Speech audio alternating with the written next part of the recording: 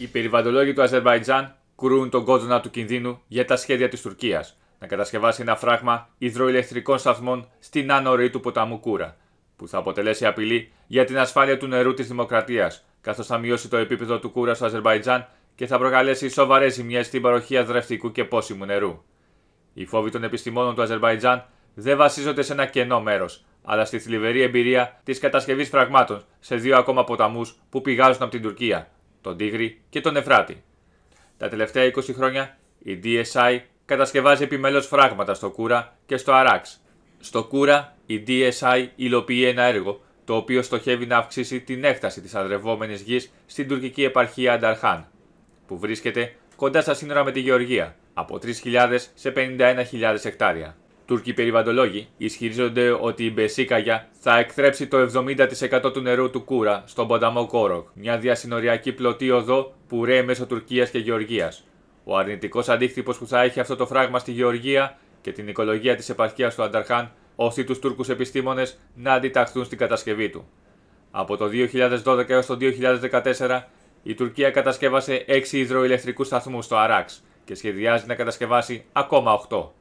Στη σειρά ακολουθούν ακόμη μεγαλύτερα έργα, ανάμεσά τους και το έργο του γιγαντίου φράγματος σε Ηλέμεζ, ύψου 113 μέτρων και χωρητικότητα στα μη ευτήρα 1,4 δισεκατομμυρίων κυβικών μέτρων. Αυτό το φράγμα πρόκειται να δημιουργήσει την τέταρτη μεγαλύτερη δεξαμενή στην Τουρκία.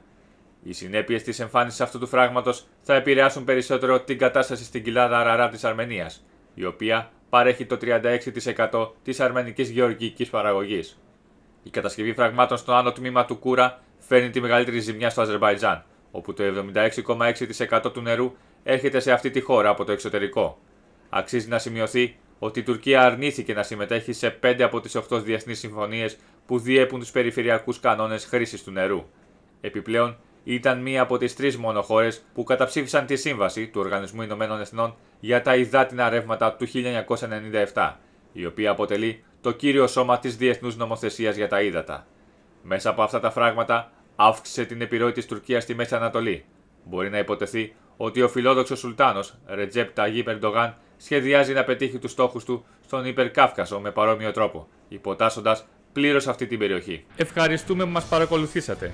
Αν σας άρεσε αυτό το βίντεο, μπορείτε να κάνετε like και εγγραφή στο κανάλι μας για να λαμβάνετε πρώτοι όλες τις νεότερες εξελίξεις. Μην ξεχνάτε να μας κάνετε σχόλια με την άποψή σας, καθώς η γνώμη σας είναι πολύ σημαντική για εμάς.